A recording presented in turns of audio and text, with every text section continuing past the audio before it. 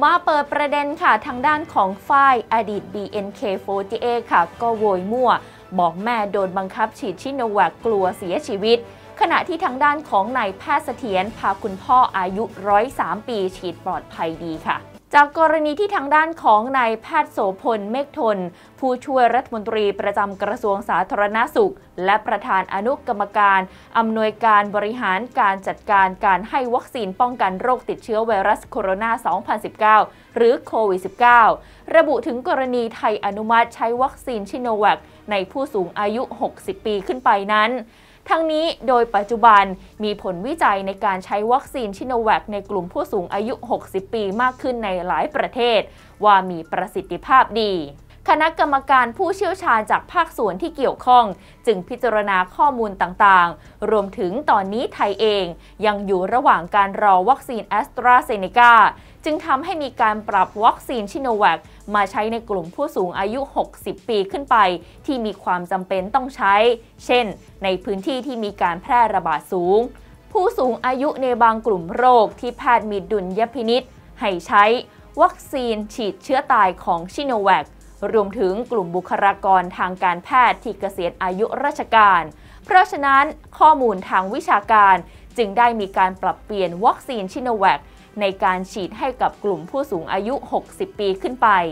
อย่างไรก็ตามวัคซีนชิโนแวคสามารถช่วยได้ ลดการเสียชีวิต ลดการเจ็บหนักจากการติดเชื้อ ส่วนวัคซีนชิโนแวคขณะนี้อยู่ในพื้นที่ 2.5 ล้านโดส และในเดือนพฤษภาคมจะมาอีก 3.5 ล้านโดส รวมแล้วกว่า 6 ล้านโดส และหลังจากการฉีดวัคซีนโควิด -19 จะมีการติดตามผลข้างเคียงอีก 1 เดือน หากพบว่ามีการเสียชีวิตภายใน 1 เดือน ถือว่าเป็นเรื่องใหญ่ที่ต้องติดตามและลงไปสอบสวน โดยผู้เชี่ยวชาญคณะกรรมการติดตามเหตุไม่พึงประสงค์ หลังการรับฉีดวัคซีน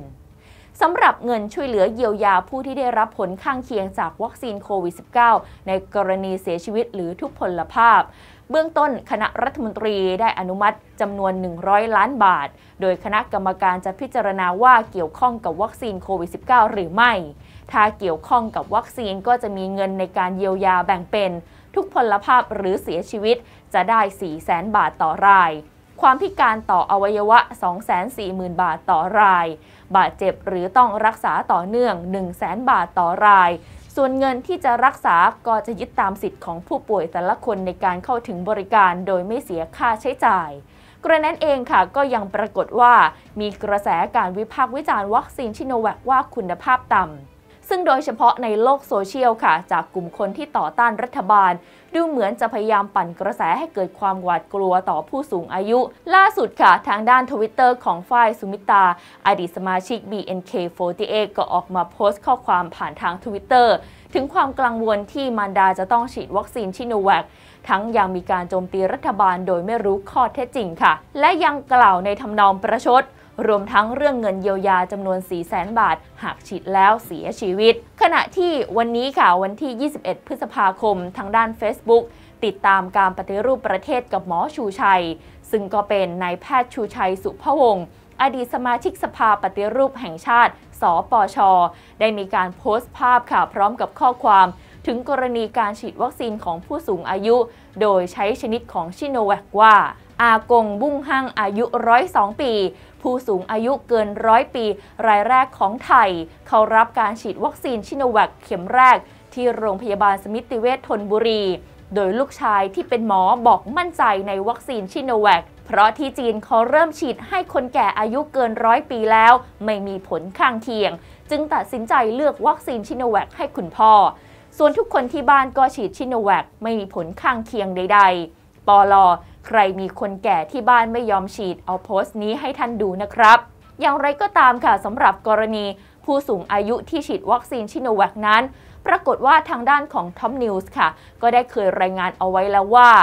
ซึ่งอากงนั้นก็คือคุณพ่อของนายแพทย์เสถียรเตชะไพฑูรย์หมอชำนาญการอายุรศาสตร์ อายุรศาสตร์โรคระบบทางเดินอาหาร โรคตับ โรงพยาบาลบำรุงราษฎร์โดยอากงอายุ